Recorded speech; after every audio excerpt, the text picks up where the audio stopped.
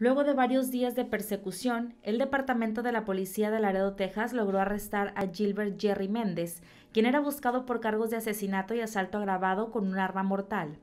Méndez está acusado de supuestamente dispararle a su padre Samuel Méndez, señor de 62 años de edad, y además de herir a su hermano Samuel Méndez Jr., de 37 años, el sábado pasado.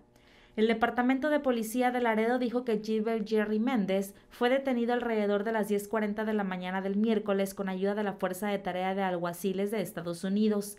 Mencionaron que Méndez fue encontrado cerca del área de Mines Road luego de que se obtuviera información gracias a una investigación. Además, Méndez fue fichado y transportado a la cárcel del condado de Webb, en donde está detenido con una fianza combinada de 500 mil dólares.